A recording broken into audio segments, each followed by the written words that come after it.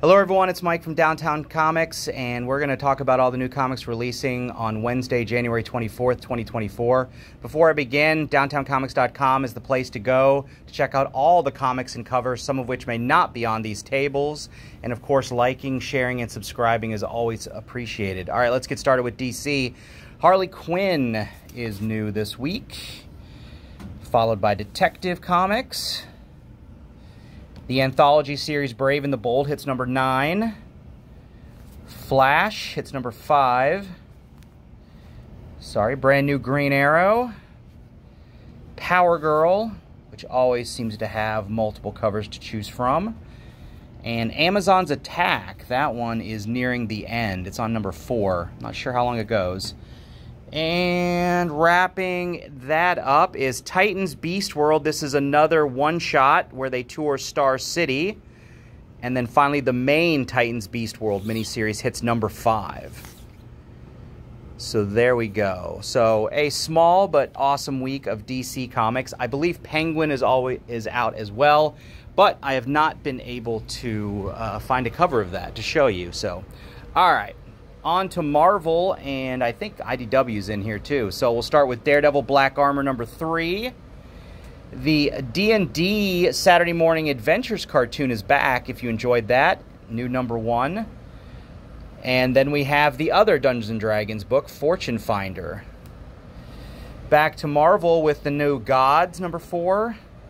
Immortal Thor the Miguel O'Hara Spider-Man 2099. It took me two weeks to realize this is weekly, everyone. So yeah, there's number four, and I believe they'll be the last issue next week. Power Pack is back, so there's probably some trademarks they're trying to protect. Into the Storm, number one. Let's see. Uh, in our reprint series, uh, they are reprinting X-Men number four, which I believe they've never done before. So that's a reprint of the first appearance of Magneto, probably because he is coming back from the dead. Turtles is three issues away from 150. X-Force 48. The newest Superior Spider-Man series hits number three. And Thrawn is back. So they are going to be adapting the second novel of the new Thrawn novels. So that Thrawn miniseries from a couple years ago was the first novel. Alliances is the second novel. So adapting that.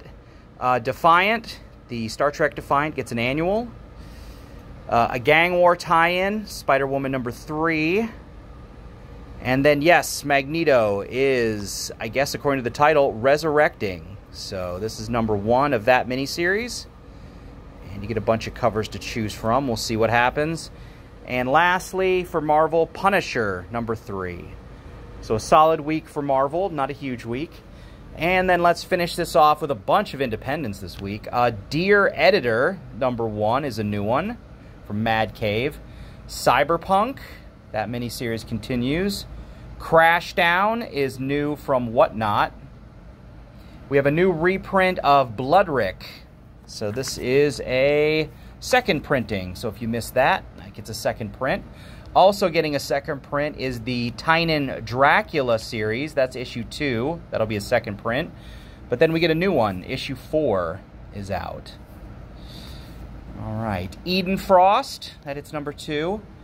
Junior Baker, The Righteous Faker, number five. And for fans of Darkwing Duck, the Justice Ducks gets a mini series. Uh, Power Rangers hits 116, still part of Darkest Hour. The double Nightfall feature, the anthology book from Vault, hits number four. Our Spawn book this week is just Spawn. We're one away from 350. You know, they like those even numbers. Starfinder, Starfinder, Starfinder. That miniseries continues. Zawa hits number three. Transformers, if you miss number one for the third time, you can try it for a fourth time. We're fourth printing Transformers number one. So don't wait, just pick it up. It's awesome. Star Wars High Republic Adventures hits number two. Red Sonja hits number seven. Also from Massive, the new volume of Quested. So they're bringing that series back. That was an alternate cover to Power Rangers. So I'll just stick it right over here. So same book. That was an alternate cover to Justice Ducks. it'd be nice if I paid attention when I do this. Invasive hits number two. Grim Fairy Tales gets an annual. The Holy Roller hits number three. And our big independent book this week is Ghost Machine. So this is tied into the Geiger universe. This is a one shot that's going to introduce a whole bunch of characters that will be getting series uh, this year in 2024. So if you're a fan of the Geiger universe at all, if you read, um, what was it, Junkyard Joe, then this is a one shot you should definitely pick up. So grab that. Uh, Faceless in the fan Family, that is number three. The Gargoyles Dark Ages hits number five.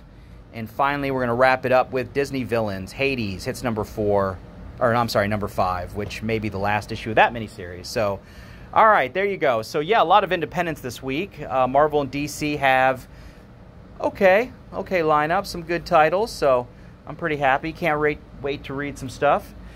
Thanks for watching, and uh, you guys have a great day. Bye bye.